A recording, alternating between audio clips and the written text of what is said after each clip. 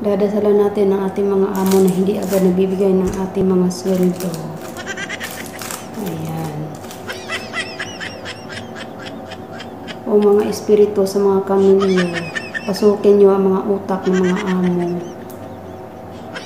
Na sana ay sila ay laging magbigay lagi ng ma- maagang pasweldo para ang mga katulong hindi na maperwisyo sa kasunod kung kailan ang kanilang sweldo.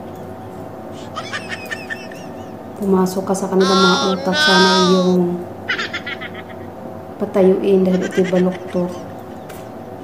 O amo kong kamilyo, magsahod ka na po, kailangan ng mga pamilya ko.